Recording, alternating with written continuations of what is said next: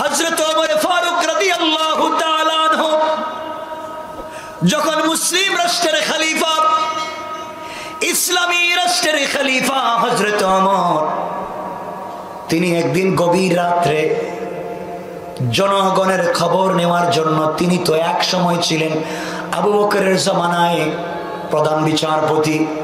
আবু বকর ইন্তেকালের পরে তিনি অর্ধ জাহানের খলিফা। কি বুঝাতে চাই শুনেন? গভীর রাত্রে বের হয়েছে। পাবলিকের খবর নিবেন, জনগণের খবর নিবেন। এই জন্যই ঘর থেকে বের হয়ে অনেক দূর পর্যন্ত পৌঁছে গিয়েছেন। যেতে যেতে তিনি দেখেন একটা তাঁবু, অথবা একটা কুড়ে ঘর যেভাবেই হোক, মরুভূমির কর্নারে একটা তাঁবু অথবা কুড়ে ঘর মিট মিট করে ঘরের ভিতরে আলো জ্বলে। হজরত দৌড়াইয়া একজন রাষ্ট্রপ্রধান যার কথা শুনলে শয়তান রাস্তা দিয়ে আসে না।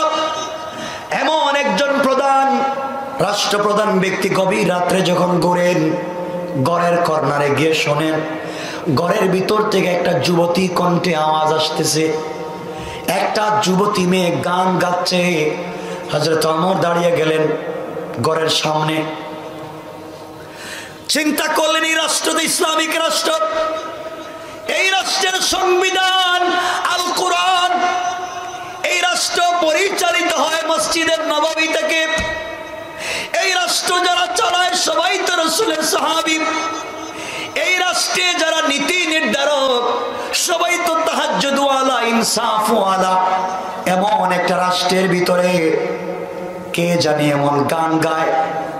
হজরত আমর দাঁড়িয়ে গেলেন, লম্বা গান গাইতে শুরু করল। গান যখন গাচ্ছে, গানের বাংলা হচ্ছে, এই যুবতী গান গাচ্ছে আর বলতেছে, "ও আমার প্রাণের বদুয়া তুমি দীর্ঘদিন থেকে কোথায়? আমার যৌবন টলমল করে। বিয়ের পর থেকে তোমাকে কোনোদিন দেখিনি। এইভাবে যখন লম্বা আরবি গান গেয়ে যাচ্ছে যুবতী মেয়েটা হজরত আমার নিজেকে সহ্য করতে পারলেন না। আমার রাজ্যে, যেই রাজ্যে ইসলাম আছে, যেই রাজ্যে কোরআন আছে এখানে অশ্লীল গান বাজনা চলবে, তা তো সহ্য করা যায় না। হজরত আমার সহ্য করতে পারলেন না। যুবতী মেয়েটা ঘরের ভিতরে যখন গান গায় হজরত আমার নিজেকে সহ্য করতে না পেরে নিজের পরিচয় গোপন করে দুইটা ব্যাখ্যা। হানাফি মজহবের বড় ইমাম, আল্লামা ইমাম আবু বকর জাসাস, আহকামুল কোরআন আমার গড়ের পিছনের বেড়া ভেঙ্গে তাবুর কাপড় ছিঁড়ে ঘরের ভিতরে প্রবেশ করেছেন, অথবা তিনি উপর দিকে উঠে সাত যেমনই ছিল, তা ভেঙ্গে ঘরের ভিতরে ঢুকেছেন। অর্থাৎ মৌলিক নিয়ম ছিল ঘরের সদর দরজা দিয়ে প্রবেশ করা। গভীর রাত্রে হজরত আমর গভীর রজনীতে একজন যুবতী মহিলার ঘরের পিছনে তাবু ভেঙ্গে, উপর দিয়ে সাঁত ভেঙ্গে ঘরের ভিতরে প্রবেশ করে। ঢুকে মেয়েটার সামনে দাঁড়ায়া গেলেন আর বললেন, যুবতী মহিলা, তুমি লাইটের আলো জ্বালাও। মেয়েটা বয় পেয়ে গেছে, কি ব্যাপার? এই গভীর রাত্রে আমার ঘরে কে ঢুকেছে? কে ঢুকে বলতেছে আমি লাইট জ্বালাবার জন্যে? আলো জ্বালিয়ে দেওয়া হলো আমার, বললেন। আমার হাতে তরবারি দেখতেছো, তোমার শরীর থেকে মাথা আলাদা করে দেব। তুমি জানো না এই রাষ্ট্রের প্রেসিডেন্টকে যুবতী মেয়ে ডাক দিয়ে বলছে রাষ্ট্রের প্রেসিডেন্ট হজরত আমার তাকে আমি ভালো করে বুঝি, কিন্তু চিনি না। গরম মানুষ আমি জানি। তাহলে এই রাষ্ট্রের খালিফা যদি অমর হয়, তুমি বলো তো রাষ্ট্র কোন জিনিস দিয়ে চলে, কোরআন দিয়ে চলে? বলো তো তুমি মুসলিম কেনা? হ্যাঁ আমি মুসলিম। তুমি মুসলিম। এই রাষ্ট্রের খালিফা আমার রাষ্ট্র চলে কোরআন দিয়া। তুমি গান গেয়েছ অশ্লীল ভাষায়। গান গেয়েছ কোন যুবকের? কুলের উপরে মাথা রেখে গান গেয়েছ। আমি গড়ে ঢুকার টের পেয়ে যুবকটা গড়ের কোথায় কর্নারে লুকিয়ে গিয়েছে বের করে দাও। আমার কথা শুনে যুবক কোথায় গেল? আর কেনই তুমি এত অশ্লীল গান গেয়েছ? মেয়েটা ডাক দিয়া বলতেছে, যুবক, তোমাকে আমি চিনতে পারলাম না। তুমি আমার ঘরের ভিতরে ঢুকেছ, গভীর রাত্রে ঢুকে অপরাধ করেছ। অযুবক তোমাকে আমি চিনি না। জিন্দগিতে কোনোদিন তোমার মতো যুবক আমি দেখি নাই। গভীর রাত্রে তুমি অমরের রাজ্যে একজন মুসলিম যুবতী মেয়ের ঘরের ভিতরে বিনা পারমিশনে ঢুকেছ, নির্ঘাত আগামী কালকে তোমাকে অমরের আদালতে আমি আসামি বানাবো। তোমার বিরুদ্ধে নালিশ করব। আমার চিন্তা করেন বলে কি আমার সামনে দাঁড়াইয়া, আমার বিরুদ্ধে আবার কোন মরের কাছে নালিশ করবে? আমার পরিচয় গোপন করে বললেন, বল, গান কেন গাইলি? আর যেই যুবকের কুলে মাথা গান গাইলে যুবক কোথায়? মেয়েটা বলছে, যুবক, মুখ সামলিয়ে কথা বলো। আমি এখন চিৎকার করব, চেঁচামেচি করব। আর বলব, তুমি আমার ঘরের ভিতরে ঢুকে জোরপূর্বক দর্শন করতেছ এলাকার মানুষ তোমা হয়ে যাবে।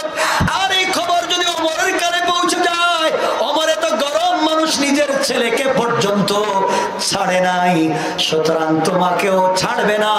তোমার শরীর থেকে মাথাটা আলাদা করে দিবে। মেয়েটা ডাক দিয়ে বলছে যুবক খবরদার ঘর থেকে বের হয়ে যাও এবার আমার বললেন, বলো গান গাইলে কেন?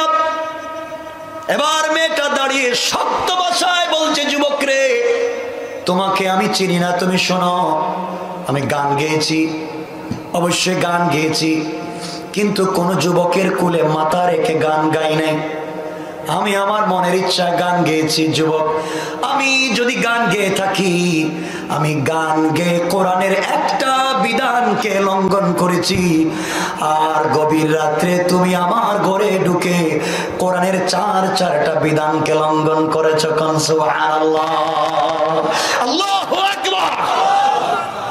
মেয়েটা বলছে, যুবক, শোনো। এই রাজ্যের খালিফা আমার। এই রাজ্য চলে ইসলাম কোরআন দিয়ে।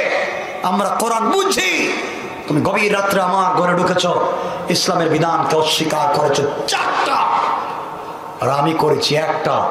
তোমাকে চার বিধানের কারণে আগামী কালকে তোমাকে অমরের দরবারে নালিশ দিয়া তোমাকে আমি কাঠ গড়ায় নিয়ে যাব। অমর চিন্তা করলেন, ঘরে ঢুকে গিয়ে আবার বিপদে পড়লাম নাকি? ঢুকলাম, গান গাচ্ছে, শুনলাম। এখন বলতেছে, আমি আর ভুল করেছি। তিনি বললেন, তুমি কি করেছ আর আমি কি করেছি? এটা আগে বলো। এরপরে তুমি অমরের কাছে গিয়ে আমার বিরুদ্ধে নালিশ দিও। আমার আপত্তি নাই, কিন্তু জানতে হবে আমি করলাম কি আর তুমি করলে কি? এবার মেয়েটা ডাক দিয়া বলে, যুবক করে আমি কোরআনে করিমের সুরে লুকমানের ছয় নম্বর আয়াতের বিধানকে লঙ্ঘন করেছি। আল্লাহ কোরআনে করিমের সুরে লুকমানের ছয় নম্বর আয়াতে বলেছেন ওয়াবিনান নাসি من يشتري لهو الحديث ليضل عن سبيل الله بغير علم ويتخذها هزوا.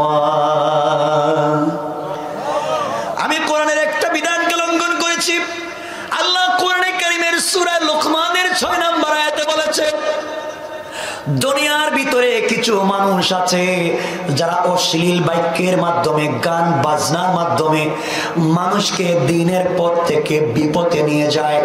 গান বাজনাকে সমর্থন করে, গান বাজনা গায়। অযুবক আল্লাহ বলছেন এগুলো হারাম, গান হারাম, বাজনা হারাম, আল্লাহ বলেছে, আমি গুনাহ করেছি, কবিরা গুনাহ করেছি এই বিধানকে লঙ্ঘন করেছি? আমি তওবা করে নেব। কিন্তু তুমি কেন আমার ঘরে ঢুকে চারটা বিধানকে লঙ্ঘন করলে? আমি তো একটা লঙ্ঘন করেছি। আল্লাহ বললেন, গান হালাল না হারাম? সবাই বললেন না। সবাই বলেন, গান হালাল না হারাম? আর বাংলাদেশে যে বাউল আছে, বাউল। আসেনি বাউল? গায়ক আছে না? কোন কিতাবে লেখা আছে, হারাম বাজনা গান? কোন কিতাবে লেখা আছে হারাম বাজনা গান হে জানে না? পঞ্চাশ লক্ষ টাকার। পঞ্চাশ লক্ষ টাকার চ্যালেঞ্জ দেয় কেউ যদি গান, বাজনা হারাম বলতে পারে, পঞ্চাশ লক্ষ টাকা দিব। ও টাটকা শয়তান। কথা বলেন না কেন? আল্লাহ কোরআনে করিমের সোরে লুকমানের ছয় নম্বর আয়াতে বলছেন, গান, বাজনা, অশ্লীল নৃত্য, হালাল না হারাম? সুতরাং যারা গান গায় গানে যায় গানে শরিক হয় সভাপতি হয় টাকা পয়সা দেয় প্রমোট দেয় প্রোটোকল দেয় সবগুলা জাহান্নামী। আর বিভিন্ন দিবসে যারা বাংলাদেশে গান বাজনাকে প্রতিষ্ঠা করতে চায় ওরা মুসলমান নয় ওরা জাতির জাতীয় দুশ্মন। ঠিক কিনা জুড়ে আওয়াজ করে বলে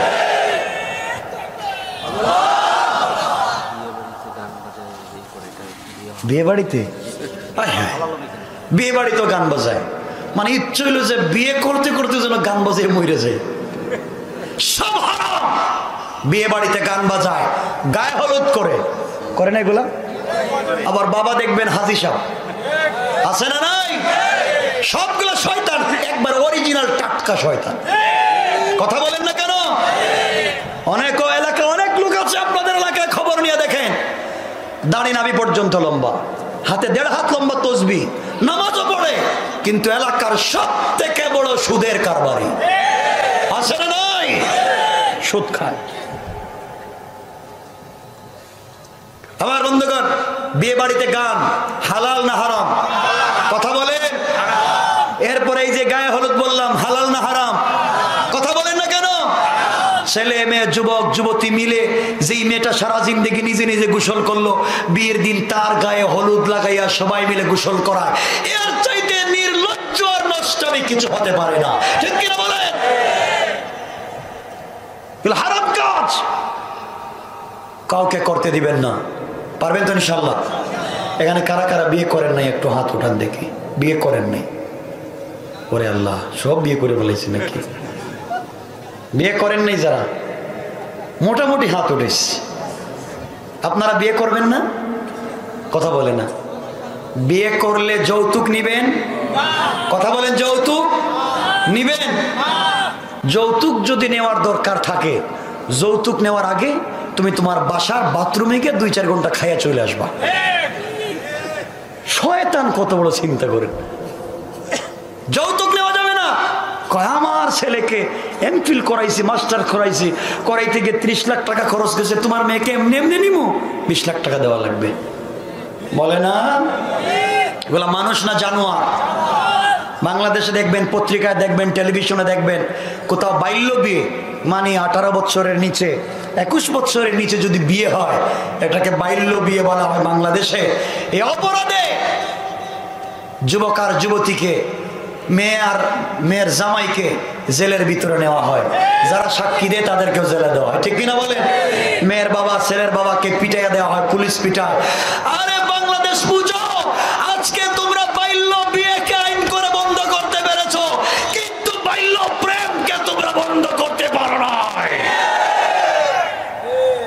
প্রেম বন্ধ করতে পারল না। আজকে যাই যে গেল ভ্যালেন্টাইন্স ডে এই যে মাথায় ফুল দিয়া, মেয়েরা, এটা ফাগুন। এই যে ফাগুনের প্রথম দিন। স্বেচ্ছায় যারা দর্শিতা হয়ে যায়, অনেক মা বাবা দেখবেন অনেক মেয়েরা স্বেচ্ছায় বন্ধুদের সঙ্গে তারা জেনাবে বিচারে লিপ্ত হয়। এক পর্যায়ে অতিরিক্ত রক্তক্ষরণ হয়ে মরে যায়। অনেক সময় তারা ডিজে পার্টিতে যায়, সিসা খায়। মরে যায়। যখন ধরা পড়ে, তখন দেখবেন বুরকা পইরা করতে যায়। কত বড় শয়তান চিন্তা করেন এই বুরকাটা এখন ধরা খাইয়া বুরকা না পইরা যদি আগে বুরকা পড়তো তাইলে ঝামেলায় পড়তো। আজকে আপনারা ইসলামী আন্দোলনের কর্মীদেরকে ধরেন, এক করছে শেখ করছে। আমাকে দেখা! একটা ইসলামী আন্দোলনের কর্মী, মাদ্রাসা, মসজিদের আলিম, ওলামা, ছাত্র, তোলামা। কোনদিন এই সমস্ত ডিজে পার্টিতে গিয়েছে, অন্যায় করেছে, এগুলা পাওয়া যাবে? কালকে দেখলাম, বাংলাদেশের কুমিল্লায় কলেজের ইউনিভার্সিটি কিছু ছেলেরা, কিছুদিন আগে করছিল গত বছর রাজশাহীর কিছু ছেলেরা মিছিল করতেছে, যারা তাদের নাম দিয়েছে, তারা হচ্ছে সিঙ্গেল। প্রেম বঞ্চিত না? প্রেম বঞ্চিত। লুচ্চামির তো একটা সিস্টেম থাকা দরকার লেভেল থাকা দরকার।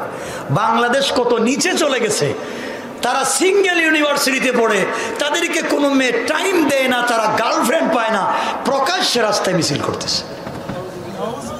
নওয়াজুল্লাহ কেন? মনে হইতেছে আমি মনে হয় উগান্ডার থেকে খবর নিতেছি। বাংলাদেশের কথা বলতেছে। রাস্তায় মিছিল করতেছে, আর বাংলাদেশের যে কিছু সাংবাদিক আছে না, সাংঘাতিক রকমের শয়তান। কথা বলেন না কেন? এই সাংবাদিক নামের সাংঘাতিক মুনাফেকগুলা তারা এগুলো কাভারেজ করে। তারা কাভারেজের কোনো জিনিস পায় না। কে কোন দিন হাসি দিল, কোন নায়িকা কোন দিন কাশি দিল, কার কোন দিন গলা ব্যথা হইল, কে কোন দিন এক টানে এক কাপ চা খাইলো, তা তারা হেডলাইন করে। কথা বলেন না কেন? আর বাংলাদেশে হাজার হাজার লক্ষ লক্ষ এতিম বাচ্চারা স্কুলে যেতে পারে না, বই পায় না। কথা বলেন না কেন? অনেক মায়েরা চিকিৎসার টাকা পায় না। কালবারের টাকায় চেয়ারম্যান চুরি করে খায় মেম্বার খায় এমপি খায়, মন্ত্রী খায়। এগুলো তারা চোখে দেখে না। কথা বলেন না কেন? এর কারণ, সমাজে কোরআন নাই। না আছে? আজকে আপনারা গানের টিচার রাখেন। গানের টিচারের বেতন পাঁচ হাজার টাকা। অঙ্কের চিটার চিটারের দেন টিচারের দেন আপনারা তিন হাজার টাকা। ছয় হাজার টাকা দেন ইংলিশের। একজন শিক্ষককে সব ঠিক। আর মাত্র যিনি কোরআন শরীফ পড়ায় কত দেন পাঁচশো টাকা মিথ্যা কত কেজি একশো টাকা দেয় এর মধ্যে এগারো মাস বাকি।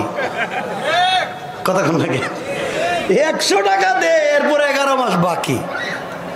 তো পাঁচ মাস পরে বলতেছে, এই ছাত্রের বাপ বলতেছে হজরত আপনি তো আমার ছেলেকে কোরআন শরীফ শিখাইছেন, আলিফ বাতাসা শিখছে আপনার কাছে, পাঁচশোটা টাকা নেন। পাঁচশো টাকা আপনাকে দিলাম আপনি নিয়ে আমার মা বাবার কবরটা একটু জিয়ারত করেন। আর আমার ছেলেটারও কোরআন শরীফ পড়াইন এই সাহেব চিন্তা করে, করলোটা কি? আমি তো এগারো মাসের বেতন পাই। দিল পাঁচশো, তাও ছয়শো টাকা বাকি এখন আছে। এর মধ্যে আর মা বাবার কবর জিয়ারত করতাম। তাহলে টাকাটা দিল কিসের? কথা বলেন না কেন? এই হচ্ছে আমাদের কন্ডিশন সমাজ। আজকালকে কিছু টিচার যারা এই সমাজের সিটার কথা বলেন না কেন? পুরাটাই সিটার যাদের কাছে দিন নাই, ইসলাম নাই, পরিবারে গিয়ে পড়াচ্ছেন, বিভিন্ন জায়গায় পড়াচ্ছেন, নষ্টামি করছেন, পরিবারকে ধ্বংস করছেন, মেয়েদেরকে ঘর থেকে বের করছেন, ছেলেদেরকে ঘর থেকে বের করেছেন। ঠিক কিনা বলে কষ্ট হচ্ছে আপনাদের? লম্বা করব না। বারোটা তো হয়েই যেতেছে কষ্ট হচ্ছে আপনাদের? আমার মুসলমান সামনে কিছু কিছু বইলে শেষ করে দেব। হজরতে ফারুক পরিচয় গোপন করে বললেন, বোন রে, এবার সুর নরম করলেন। মেয়েটা বলছে, আমি কোরআনের একটা বিধানকে লঙ্ঘন করেছি। গান, বাজনা, ইসলামে হারাম আমি গান, বাজনা করেছি। এই জন্যে যদি আমি অপরাধ করি, আপনি আমার চার চারটা বিধানকে লঙ্ঘন করেছেন। আমার বলেন, আমি কি বিধান লঙ্ঘন করলাম, তুমি একটু বলো। এবার মেয়েটা বলছে, আপনি এক লম্বা, এক নম্বর বিধানকে লঙ্ঘন করেছেন। দুই সোরা সোরা আল আয়াতের বিধানকে লঙ্ঘন করেছেন। আল্লাহ বলেন أتت البيوت من زهورها ولكن البر من اتقى. واتوا البيوت من أبوابها واتقوا الله لعلكم تفلحون.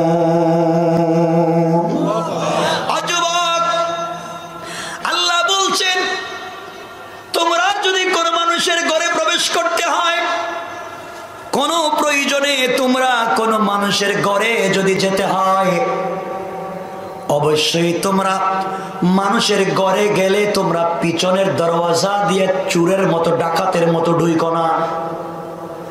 আল্লাহ বলছেন, কোরআনে কারও ঘরে যদি ঢুকতে হয়, পিছনের দরওয়াজা দিয়ে চুরের মতো, ডাকাতের মতো ঢুকবা না।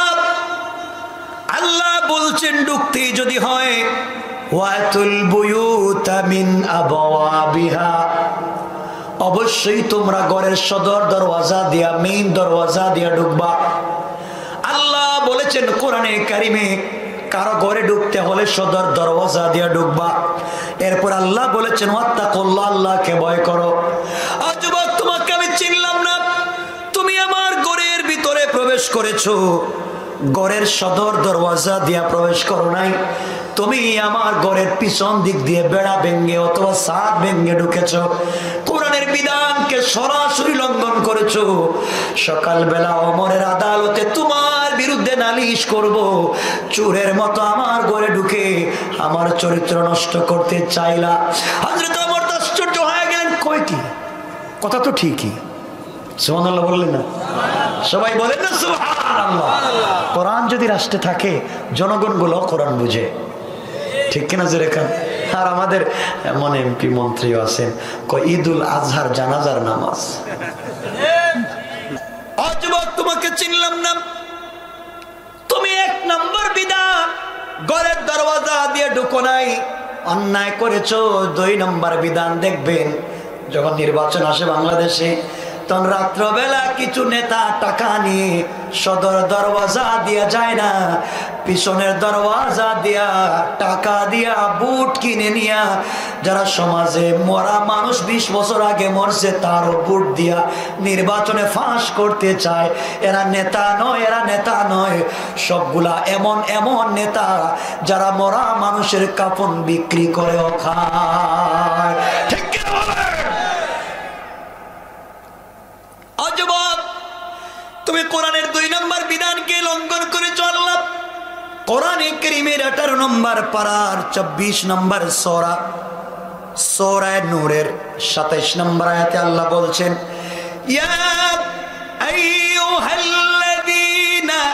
আমানু লা তাদখুলু বুয়ুতান গায়রা হাত্তা تستأنسوا وتسلموا على أهلها ذلكم خير لكم لعلكم تذكرون পড়েন আল্লাহু আকবার আজবক আল্লাহ রাব্বুল ইজ্জত বলে জানান কোরআনে কারীমের 18 নম্বর পারা 24 নম্বর সূরা যারা ইমান এনেছো, তোমরা যখন কোন মানুষের ঘরে ঢুকবা, নিজের ঘর ছাড়া অন্য কোন মানুষের ঘরের ভিতরে প্রবেশ করবা, অবশ্যই অবশ্যই তোমরা তাদের কাছ থেকে অনুমতি নিবা সুবহানাল্লাহ। কোরআনের কি সুন্দর বিধান। সুবহানাল্লাহ বললেন না? কারও ঘরে গেলে অনুমতি নিয়ে যাইবা। এমন কি তুমি যদি তোমার মায়ের ঘরেও ঢুকো মা কোন অবস্থায় আছেন তুমি জানো না। কোন? দেখেন আপনি অনুমতি নিয়ে ঢুকবেন আপনার স্ত্রীর রুমেও যদি ঢুকতে হয়, আপনি অনুমতি নিয়ে ঢুকবেন সে কোন অবস্থায় আছে আপনি জানেন না। আপনি সন্তান, আপনি ভাই, আপনি বোনের রুমে ঢুকলে আপনি অনুমতি নিয়ে ঢুকবেন কথা বলেন না কেন? এই বিধান কার? সবাই বলেন কার? ইসলাম কত সুন্দর বিধান দিয়েছে। আজকে অনুমতি লাগে না। চাচাতো ভাই, খালাতো ভাই, মামাতো ভাই, ফুফাতো ভাই, দেবর, সব নিয়ে। এক জায়গায় বসে সব। কথা বলেন না কেন? আছে না নাই? আল্লাহ রব্বুল ইজ্জতুল জালাল বলছেন, তুমি অনুমতি নিবা। আর যদি গড়ের দরজার সামনে দাঁড়াইয়া ডাকাডাকি করো, গড়ের ভিতর থেকে কেউ ডুববার অনুমতি না দে কথা বলবা না, তুমি চলে যাইবা। আর যদি কেউ এসে বলে, আপনি আসছিলেন, দেখা করার কথা ছিল টাইম নাই, সময় নেই অন্যদিন আসবে। আল্লাহ বলছেন, অবশ্যই সম্মান দিয়ে তুমি চলে আসবা। ওই জায়গায় দাঁড়াবার তোমার দরকার নাই। কারণ যে অনুমতি দিল না, তার ঘরে ঢুকতে যাওয়া না। আল্লাহ হারাম করে দিয়েছেন কত জিনিস হারাম আপনারা দেখেন। এই যে আল্লাহ বলেছেন, কারও অনুমতি ছাড়া কারও ঘরে ঢুকা হারাম। ও যুবক তুমি আমার ঘরে ঢুকবার সময় অনুমতি নেও নাই। অনুমতি নিয়েছেন আমার কথা বলেন না কেন? আমার বলতেছেন ঠিকই তো আমি এতদিন তো এই আয়াতগুলা চিন্তা করলাম না। এত বিপদ। এক নাম্বার তো গড়ের বিপরীত দিক দিয়ে ঢুকে অপরাধ করছি দুই নাম্বার ভুল তো করছি এখন দেখতেছি অনুমতি নিছি না। আচ্ছা বোন এত এত নরম গলে এখন কথা বলতেছেন বোন। আচ্ছা বলো তো আমার তিন নাম্বার ভুল কি? মেয়েটা এবার বলছে যুবককে তোমার তিন নাম্বার ভুল হলো আল্লাহ কোরআনে করিমের আঠারো নম্বর পাড়ার চব্বিশ নম্বর সৌরভ সুরায় নিসার একষট্টি নম্বর আয়াতের শেষ দিকে আল্লাহ বলছেন ফাইদা দাখাল তুম বুয়ুতান ফাসাল্লিমু على أنفسكم تحية من عند الله مباركة طيبة আল্লাহ রব্বুল ইজ্জত ওয়াল জালাল বলছেন ফাইদা দাখালতুম বুয়ুতান তোমরা যখন নিচের ঘরে পরের ঘরে যেখানেই ঢুকো ফাসাল্লিমু আলা আনফুসিকুম ঘরের ভিতরে যারা আছে অবশ্যই তাদেরকে সালাম দিবা সালামের জবাব না পাওয়া পর্যন্ত ঘরে প্রবেশ করবা না আল্লাহু আকবার ইসলাম কি সামাজিক শিষ্টাচার, কি সুন্দর ব্যবহার আমাদেরকে শেখাচ্ছে। এগুলো কোনোদিন পড়েন থিসিস করেন না কোরআন। পড়েন না কোরআন, আপনি তো এমন নেতার পিছনে ঘুরতেছেন, নেতা গম চুর চাউল চুর কালবাড়ের টাকা চুর। কথা বলেন না কেন? আপনার যৌবন কেমন নেতার পিছনে খরচ করে দিয়েছেন, ঘোরায়া ঘোরায়া। কেয়ামতের দিন জবাব দিবেন, আল্লাহ বলেছেন, শাবাবাকা কাবলা আরামিক। এই নজওয়ানের হিসাব দেওয়া লাগবে। ভুল হয়েছে কয়টা? সবাই বলে না কয়টা? উমর দেখেন ঠিকই তো। তিনটা ভুল করে ফেলছি। আচ্ছা বোন আর কি ভুল করছে কত আপনি চার নাম্বার ভুল করেছে আল্লাহ কোরআনে করিমের ছাব্বিশ নম্বর পারা সুরা হুজরাত উনপঞ্চাশ নম্বর সুরা। এই সুরার বারো নম্বর আয়াতে আল্লাহ বলছেন ইয়া আইয়ুহাল্লাযীনা আমানু জতানিবু كثيرا من الظن. إن بعض الظن إثم ولا تجسسوا. ولا يغتب بعضكم بعضا. أيحب أحدكم أن يأكل لحم أخيه ميتا؟ فكرهتموه واتقوا الله إن الله تواب رحيم পড়েন আল্লাহু আকবার আল্লাহ রাব্বুল ইজ্জত ওয়াল জালাল বলছেন যারা ঈমান এনেছো ইজতানিবু কাসীরাম মিনাজ জান তোমরা অনেক ধারণা থেকে বেঁচে থাকো কোন আল্লাহু আকবার আরো জোরে পড়েন আল্লাহু আকবার আল্লাহ বলছেন, তোমরা ধারণা থেকে বেঁচে থাকো। ইন্না ইসমন। তোমরা ধারণার থেকে বেঁচে থাকো, কারণ অনেকগুলা ধারণা গুণা অনেক ধারণা কি? আপনি যে আমার ঘরে ঢুকলেন, আমাকে ধারণা করলেন, কোন যুবকের কুলে মাথা রেখে গান গেয়েছি, এই ধারণাটা তো ইসলামে হারাম করেছে। সুতরাং আপনি এই জায়গায় আমাকে ধারণা করলেন, ভুল করলেন, কোরআনের বিধান সুরে হুজরাতের বারো নম্বর আয়াতের বিধানকে লঙ্ঘন করলেন। আপনি অন্যায় করেছেন আমার বন্ধুগণ।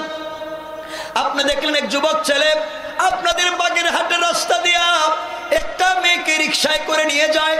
আপনি ধারণা করলেন হতে পারে তার গার্লফ্রেন্ডকে নিয়ে যায়। কথা বলেন, আপনি ধারণা করেছেন হতে পারে, না হতে পারে, পরের বিষয়টা হারাম। আপনি ধারণা করেছেন তার গার্লফ্রেন্ড নিয়ে যায়, তার বান্ধবী নিয়ে যায়। হতে পারে এই মেয়েটা তার স্ত্রী। কথা বলেন, হতে পারে তার বোন, পারে না। হতে পারে তার মেয়ে। আপনি ভুল করেছেন, ধারণা করে এটা হারাম। আপনি কক্সিস বাজারে গিয়েছেন সি বিচে আপনি সেন্ট মার্টিনে গিয়েছেন, আপনি দেখলেন, বিচের মধ্যে, পানির মধ্যে একটা ছেলে, একটা মেয়েকে কুলে করে নিয়ে সাঁতার কাটতেছে। আপনি বলেন, সিসি করলোটা কি? কার মেয়েকে ইউনিভার্সিটিতে ধরে নিয়ে চলে আসছে? হারাম। যে বেচারা গোসল করে হয়তো কবিরা গুণা করতেছে পাবলিকের সামনে, কিন্তু হতে পারে তার স্ত্রী, তার বোন, তার মেয়ে। কথা বলেন না কেন? ধারণা করা হালাল না হারাম? তুমি চার চারটা বিধানকে লঙ্ঘন করেছ, আমাকে ধারণা করেছ। জবাব দিবা কালকে। তোমার নাম ঠিকানা দিয়ে যাও। কালকে তোমার বিরুদ্ধে অমরের আদালতে নালিশ করব। অমর কত বিপদই পড়লাম। বলতো চারটা। এখন যদি জানতে পারে কেউ, কালকে আমি ঘরে ঢুকছি দিলে আমার চরিত্র নিয়ে দুটা নটানি পড়বে কথা বলে ঠিক না অমর তো চিন্তায় পড়ে গেছেন, এক সাধারণ নাগরিকের ঘরে ঢুকে আর আজকালকের বড় বড় নেতারা নাগরিকের ঘরে ঘুমায়। কথা বলে ঠিক কিনা? কত এমপি কত চেয়ারম্যান ধরা খায়। কথা কন না কেন? কত খারাপ চিন্তা করে। কষ্ট হচ্ছে আপনাদের? এবার আমার বললেন বুনরি সত্য কথা বলো তোমার পরিচয়টা আমাকে দাও তুমি কে? আমি তোমার পরিচয়টা জানতে চাই। মেয়েটা ডাক দিয়ে বলছে, যুবক, এতক্ষণ যেহেতু পরিচয়ের কথা বলতেছে, তাহলে শোনো। আমি একজন কোরআনের আল্লাহ আকবর বললেন। আল্লাহ আকবর। আমি একজন কোরআনের আর আমার স্বামী একজন আল্লাহর পয়গাম্বরের সাহাবি। দুটা রেওয়ায়াত কেউ বলছেন, আমার স্বামীর নাম আব্দুল্লাহ বিন সাদ। কেউ বলছেন সাদ বিন আব্দুল্লাহ। দুটা রেওয়ায়াত আমরা বলব আব্দুল্লাহ বিন সাদ অথবা সাদ বিন আব্দুল্লাহ যেই হোক। আমার স্বামী আল্লাহর পয়গম্বরের সাহাবি। আপনি কি ধারণা করলেন? আমার তো আশ্চর্য হয়ে গেলেন, কি বলে মেয়েটা? ও নাকি কোরআনের হাফেজা, এজন্যই তো সুন্দর করে বুঝাইয়া দিছে। ওরা কোরআনের হাফেজা হলেও কোরআন বুঝে। আর আমাদের দেশে টাইটেল দিয়া কামিল পড়ার পরও কোরআনের দুই চার আয়াত আমরা বুঝতে পারি না। ঠিক নিজেও জানে না কি পড়তেছে। কথা বলেন না কেন? সুদের আয়াত যায়, ঘুষের যায়, জিহাদের যায়। ইমাম মসজিদে ওয়াজ করে, সব গুরুস্থানের ওয়াজ করে, চাকরি যেন না যায়। কথা বলেন না কেন? সব কথা তো আর বলব না। রাত্র বারোটা হয়ে গেছে, আপনাদের কষ্ট হচ্ছে মনে হয়? কষ্ট হচ্ছে না? এর জন্য আর লম্বা করব না। কি বলছেন? বুঝি নেই। আচ্ছা আচ্ছা। আমার বন্ধুগণ, কথা বুঝতেছেন আপনারা? বুঝতেছেন তো ইনশাল্লাহ আলহামদুলিল্লাহ পড়েন।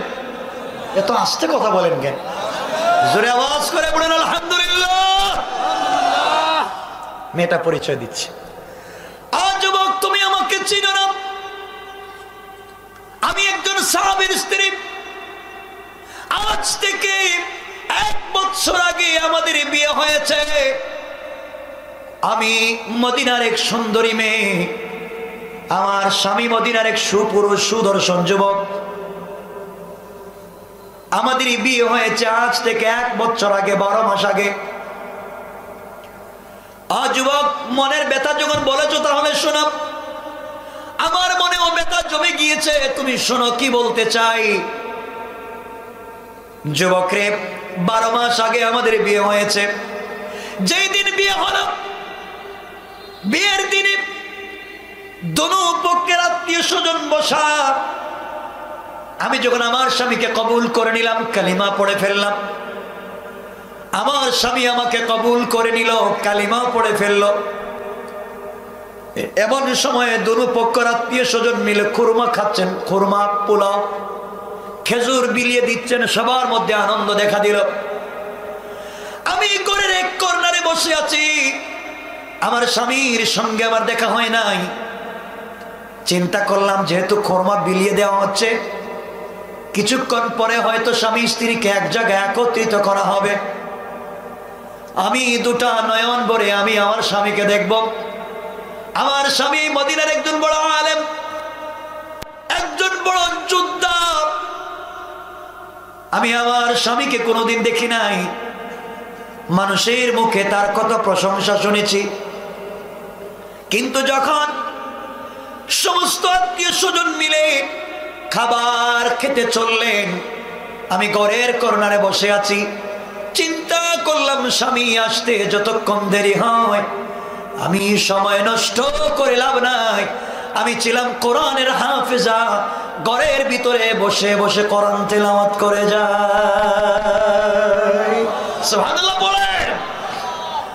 কেমন ছিল ইসলামী পরিবার?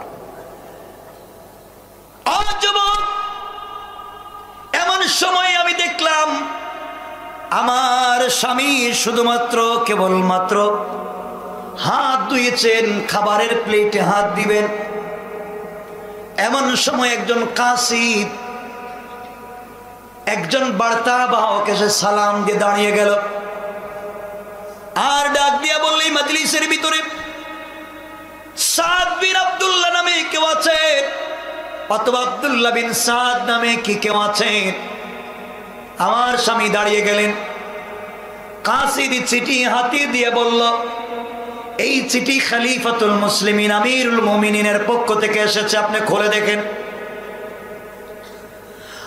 যুবক তুমি এমন সময় আমার স্বামী হাতটাকে মুছে দিয়া চিঠি যখন খুলতে গেলেন, চিঠি খুলে চুকের পানি ছেড়ে দিলেন। কাছেই ছিল তার জিহাদের পোশাক। বরের পোশাকগুলা খুলে ফেললেন। জিহাদের পোশাক পরে ফেললেন।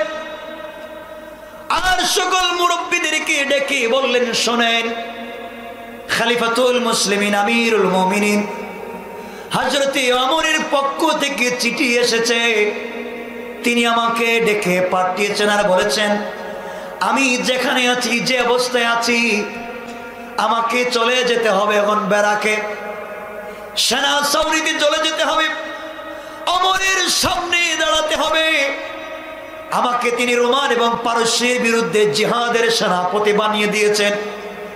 আমি যে অবস্থায় আছি অবস্থায় চলে যেতে হবে। সুতরাং আজকে আপনাদের সঙ্গে সময় কাটাবার কথা ছিল। আমিরুল মুমিনের নির্দেশকে অমান্য করা যায় না। সুতরাং আপনারা খাবার খেতে থাকবেন। এই মুহূর্তে আমি কথা রক্ষার জন্য জিহাদের ময়দানে আমি চলে যাই।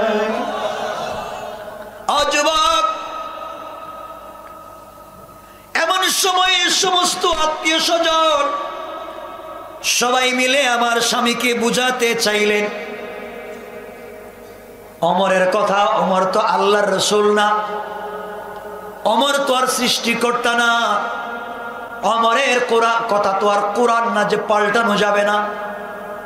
যেহেতু আজকে তুমি বিয়ে করেছ, আমরা তোমাকে এক সপ্তাহ, দুই দিন, তিন দিন থাকতেই বলব না। শুধুমাত্র, কেবলমাত্র আজকের রাত্রটা তুমি স্ত্রীর সঙ্গে কাটাইয়া যাও। বাসর রাত্র ফুল সজ্জা রাত্রটা কাটাইয়া যাও।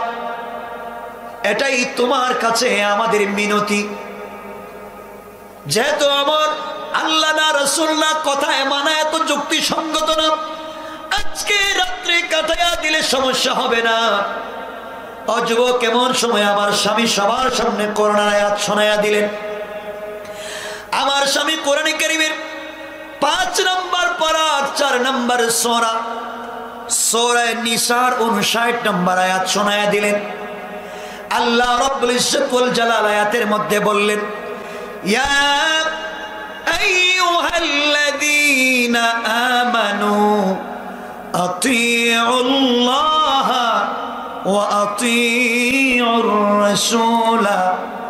ওয়া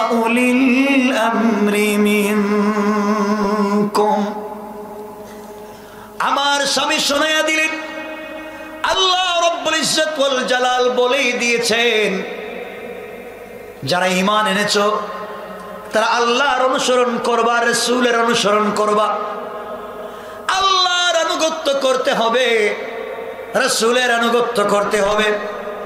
এরপর আল্লাহ বলেছেন উলিল মিনকুম।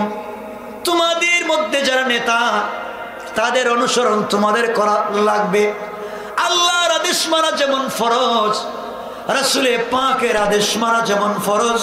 তোমাদের মধ্যে যারা নেতা হবে নেতার আদর্শ, নেতার কথা মানা ফরজ। কিন্তু আল্লাহ বোঝাতে গিয়ে অলিল আমরকে আলাদা শব্দ দিয়ে, ওয়াও দিয়ে আল্লাহ বলেছেন, আল্লাহ বুঝাতে চাইলেন এমন নেতাকে মানা ফরজ। আল্লাহকে বিনা বাক্যে মানা ফরজ, রসুলকে বিনা বাক্যে মানা ফরজ। আর নেতাকে মানতে হবে শর্ত সাপেক্ষে। যেই নেতা আল্লাহ এবং রসুলের পথে চলবে, যেই নেতা নামাজের কথা বলবে, যেই নেতা কোরআনের কথা, হাদিসের কথা, ইসলামী আন্দোলনের কথা বলবে, এই নেতাকে মানা আল্লাহ এবং তার রসুলের মতো ফরজ। আর যেই নেতা আল্লাহ রসুলকে মানে না তাকে তো মানা যাবে না, বরং তার কপালে একশো জুতার বাড়ি দিয়ে এই দল থেকে চলে আসা দরকার। ঠিক বলে? যেই দলে ইসলাম নয় যেই দলের নেতা ফেন্সিডিল খায়, তার কর্মীরা ইয়াবার ব্যবসা করে। আছে না নাই? থাকা যাবে না। আল্লাহ বলছেন আপনারা এসছেন কষ্ট করে। বলছেন উনি, আল্লাহ বলছেন, আল্লাহকে মানতে হবে, রসুলকে মানতে হবে, উল আমরকে মানতে হবে। হজরত আমর, আল্লাহকে মানে না? রসুলকে মানে না? মানে। সুতরাং উলিল আমরে মিনকুম, আল্লাহ এবং রসুলের কথার মতো অমরের কথা মানা ফরজ। সুতরাং বিয়া রাখেন, খাবার রাখেন বছর রাত্র রাখেন। সব কিচ্ছুকে লাত্তি দিয়ে ফেলে দিয়ে যেতে পারি। কিন্তু ইসলামের জন্য, দিনের জন্য, তহিদের জন্য যদি ডাক আসে, আমরা ঘরে বসে থাকতে পারি না। ঠিক কিনা জন্য বলেন? বের হয়ে চলে গেলে আজবাক এমন সময় আমার স্বামী আমার ঘরের দরজায় আসলেন। সালাম দিলেন আমি, কোরআন তেলাওয়াত করতেছিলাম। স্বামী এসে বললেন, স্ত্রী, আমি গড়ে ঢুকতে চাই না। তোমার সঙ্গে দু মিনিট কথা বলতে চাই। কোরআন তেলাওয়াতটা থামাও। তোমার সঙ্গে আজকে আমার বিয়ে হয়েছে। তোমাকে আমি দেখি নাই। তুমিও আমাকে দেখো নাই। আজকে ফুল সজ্জার রাত্র ছিল। কিন্তু আমার এই মুহূর্তে আমাকে জিহাদের সেনাপতি বানিয়ে পাঠিয়ে দিয়েছেন। আমি চলে যাই কাগজের মধ্যে লেখা চার মাস। চার মাসের জন্য আমি চলে গেলাম, চার মাস পরে ছুটি ফেলে আসব। এতদিন পর্যন্ত নিজেকে ভালো রাখবা, আমানতের সঙ্গে চলবা। আমি আমার স্বামীকে ডাক দিয়ে বললাম স্বামীর আমি মদিনার এক সম্ভ্রান্ত মুসলিম পরিবারের সুন্দরী আপনিও সুদর্শন একজন পুরুষ। আপনাকে আমি দেখি নাই, আপনি আমাকে দেখেন নাই। ঘরের ভিতরে আপনি আসেন। একটা মিনিট আপনাকে দেখে রাখতে চাই। যদি আপনি জিহাদের ময়দানে যাওয়ার পরে আল্লাহ না করুক আপনি যদি শহীদ হয়ে যান, কেয়ামতের দিনে আমি আমার স্বামীকে খুঁজে পাওয়া লাগবে। এই জন্য আমি একটু দেখে রাখতে চাই। আমার স্বামী আমাকে ডেকে বলেন, স্ত্রী রে, তোমার মনের যদি ইরাদা ইচ্ছা থেকে থাকে এই চাহিদা যদি হয়, আর ধৈর্য ধারণ করে তুমি থাকতে পারো, আমি শহীদ হয়ে গেলে। কেয়ামতের দিন জান্নাতের ভিতরে আল্লাহ তোমাকে আমাকে স্বামী স্ত্রী হিসাবে পরিচয় করাইয়া দিবেন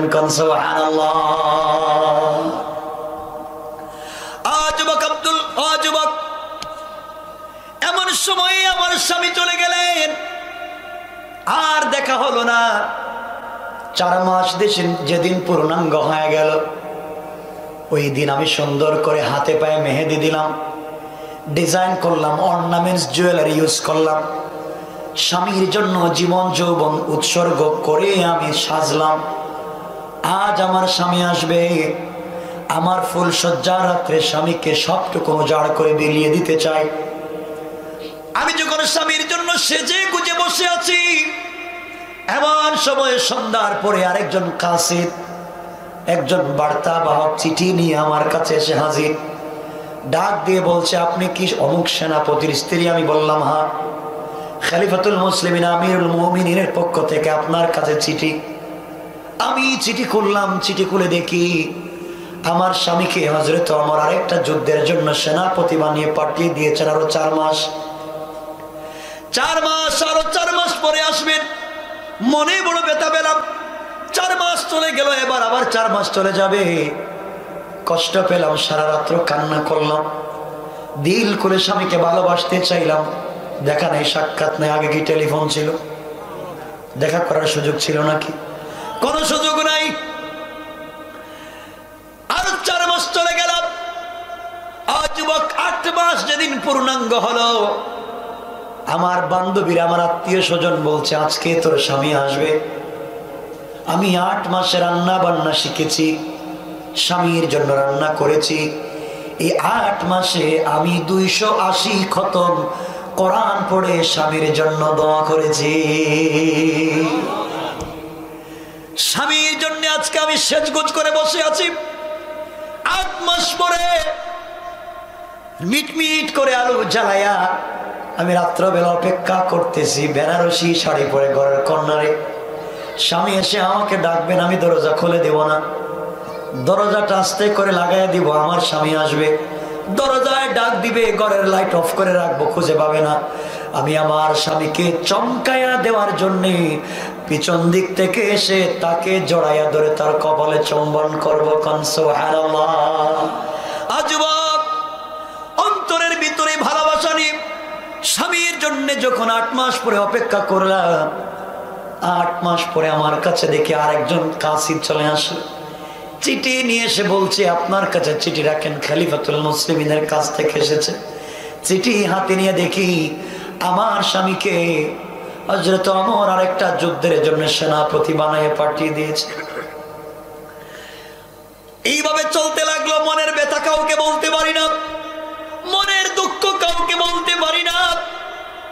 আজকে বারো মাস পূর্ণ হতে লাগল। আগামী কালকে রাত্রে আসলে বারো মাস হয়ে গেল, স্বামীকে দেখি নাই। এই জন্য গভীর রাত্রে ঘুম আসে না। ঘুম নাসবার কারণে ঘুম থেকে উঠে তাহাজ্জুদের সালাত আদায় করেছি। স্বামীর জন্য দোয়া করে বলেছি, আল্লাহ তারা আমার স্বামী যেখানে আছে, সহি সালামতে আজকে রাত্রে আমার কাছে পাঠাইয়া দা কিন্তু যুবকরে আজ রাত্র চলে যায় স্বামী যখন আসে না, মনের ব্যথায় ঘরের ভিতরে বৈশা বৈশা স্বামীর বিরহে স্বামীকে না পাওয়ার আকাঙ্ক্ষায় আমি গান গিয়েছি। আমি কারও কোলে মাথা রেখি নাই। আমি আমার স্বামীকে পেতে চাই। এই জন্যে আমি গান গেয়েছি আর কিছু না। কিন্তু যুবক, এতক্ষণ যা বলেছি তোমাকে সব সত্য। কিন্তু তুমি যে আমার ঘরের ভিতরে পারমিশন না নিয়া, সালাম না দিয়া, ঘরের দরজা দিয়া না ঢুকে, সন্দেহ করে ঢুকে চারটা কোরআনের মূলনীতিকে অস্বীকার করলা। কালকে সকাল হয়ে গেলে অমরের কাঠগড়ায় তোমাকে দাঁড় করায় দেব কনসুবহানাল্লাহ আমার বললেন, বোন, তোমার কাছে মাফ চাই আগামী কালকে দেখা হবে। অমরের আদালতে তোমাকে যাওয়া লাগবে না, অমর হয়তো আসতে পারে, আমি খবর দিব। আর তোমাকে কষ্ট করা লাগবে না, আমি দেখি আমার ঘর থেকে বের হয়ে ডাইরেক্ট মসজিদে নববী সাজদায় পড়ে কান্না করে বলেন, আল্লাহ, তুমি আমাকে বাঁচাও, কোন বিপদে পড়লাম?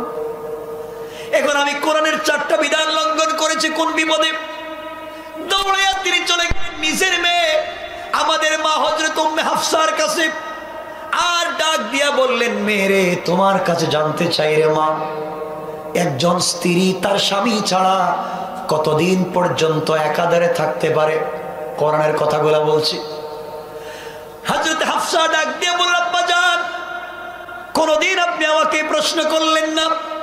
হঠাৎ করে আপনি আমাকে প্রশ্ন করেন, কারণ কি? আমারে ফারুক বললেন, কারণ তোমাকে পরে বলব, আগে বলো। কতদিন পর্যন্ত একজন স্বামী ছাড়া স্ত্রী থাকতে পারে? হজরতে হাফসা বলেন, আব্বা যান কষ্ট করে হলো চার মাস থাকতে পারবে। চার মাস পরে যদি থাকতে হয় নির্গাত কষ্ট হবে, অথবা ইনসাফের উল্টা চলবে, অথবা কোনো অন্যায় করবে। হারাম কাজে লিপ্ত হয়ে যেতে পারে। নিজেকে কন্ট্রোল করতে না পেরে গোনার কাজে লিপ্ত হতে পারে। চার মাসের উপরে থাকতে পারবে না। হজরত আমার চিন্তা করলেন, একটা মেয়ে বিয়ের পরে একটা দিন স্বামীকে দেখে নেই, আর আমি বারো মাস আটকায় রেখে দিস করলামটা কি? আমার বন্ধুগণ এখান থেকে বলতেছে, আপনি বিদ্যান কানাডা যান, ব্রিটেন যান, যেখানেই যান, কত বছর বিয়ে করে আপনি আপনার স্ত্রীকে ঘরের কামলা বানিয়ে রেখে গিয়েছেন? আপনার ঘরের সবাইকে রান্না করে খাওয়ায় গরম মুছে রাখে। কিন্তু তুমি স্বামী কোথায় আছো? খবর রাখলা না। কেয়ামতের দিন ওই স্ত্রী যদি দুনিয়া অন্যায় করে থাকে, তোমাকে জবাব দেওয়া লাগবে। ঠিক কিনা বলেন? ঘর ঠিক করেন। স্ত্রীকে কার কাছে রেখা না, কথা বুঝতেছেন না আমার? হাজরতে আমার দৌড়ে গেলেন সেনাবাহিনীর কাছে। আর গিয়ে বললেন, অমুক নামে সাহাবিকে বের হয়ে আসো। আবদুল্লাহ বিন সাদ অথবা সাদ বিন আবদুল্লাহ বের হয়ে আসলেন। তিনি বললেন, বাবা, যাও। তাড়াতাড়ি বাড়িতে যাও, তোমার ছুটি বাড়াইয়া দিলাম পনেরো দিনের। বাড়িতে যাও, আর তোমার স্ত্রীর কাছে গিয়ে বলবা, আমি গতকালকে রাত্রে গিয়েছিলাম, তার মনের কষ্টগুলো আমি শুনেছি। সে যেন আমাকে মাফ করে দেয়, আমি কেন আগে খবর নিতে পারলাম না? আর তোমাকে ছুটি দিলাম। তোমার স্ত্রী যতদিন পর্যন্ত স্বেচ্ছায় তোমাকে আবার না ছেড়ে দিবে, ততদিন পর্যন্ত সেনাবাহিনীতে যোগ দেওয়া লাগবে না। তোমার বেতন বাইতুল মাল থেকে চলতে থাকবে। ইসলাম কেমন বিধান দিয়েছে? এই দিন থেকে হজরত আমার সেনাবাহিনীতে বলে দিলেন যে প্রত্যেক মাসে তিন দিনের ছুটি। প্রত্যেক মাসের তিন দিনের ছুটি অমর ঘোষণা করলেন। আজও সেনাবাহিনীতে পুলিশে প্রত্যেক মাসে তিন দিনের ছুটি। ওই যে অমর ঘোষণা করেছিলেন, আজও আছে। সবাই আওয়াজ করে বলেন আমি জানতে চাই, এই অমরের জিন্দগির এই পরিবর্তন, এই যে একটা মহিলা কোরআন দিয়ে বলে দিল, এত পরিবর্তন, দুনিয়ার কোন তন্ত্র মন্ত্র দিয়ে হয় নাই। এত পরিবর্তন হয়েছে আল কোরআন দিয়া। ঠিক কিনা জোরে আওয়াজ করে বলেন এই জন্য আমার তেলাবাদ কিতার উচ্চ ভিতরে বলছেন, কিতাবুন আনজালনাহু ইলাইকা লিতুখরিজান নাস মিনাজ যুলুমাতি ইলান নূর আল্লাহ রাব্বুল ইজ্জত ওয়াল জালাল ডাক দিয়া বলেছেন তোমরা যদি কোরআনকে লাইট আর ম্যাগনেট হিসাবে ধরে রাখতে পারো, দুনিয়ার কোনো কাফের, দুনিয়ার কোনো বেঈমান তোমাদের ক্ষতি করতে পারবে না, কারণ সবাই বলেন কথা এখানে রেখে দিলাম। আমার জন্য রাত্র সাড়ে বারোটার কাছাকাছি। লম্বা সময়। বসেন, মোনাজাত হবে। আমার জন্য দোয়া চাই। আপনাদের জন্য দোয়া থাকল। কথা রাখেন। এটা কি আমি বুঝি নাই তো? প্রচলিত বেদাত কি কি? আমাকে প্রশ্ন করেন সবগুলোর উত্তর দিয়ে দেব। বেদাতের তো অভাব নাই। আপনারা যদি কেউ প্রশ্ন করেন যে অমুক বিষয় সম্পর্কে ওই বিষয় সম্পর্কে জানতে চাই তাহলে বলা যাবে। বলতে গেলে তো কত হাজার বেদাত বলতে হবে। বসেন মোনাজাত করেন। উঠেন কেন এখন? কথা শেষ করতে উঠে যাচ্ছেন কেন? কারও কোনো প্রশ্ন আছে? আলোচনায় কারও কোথাও কোনো প্রশ্ন আছে? সমাজের ভিতরে ফেতনা করবেন না। সমাজের ভিতরে অন্যায় পথে চলবেন না। দুটো জিনিস আপনাদের কাছকে বলে দিলাম। এক নাম্বার হচ্ছে হালাল খাবেন, দুই নাম্বার সময় মতো সালাত আদায় করবেন। ইনশাল্লাহ পারবেন ইনশাল্লাহ? কে কিছু বলবেন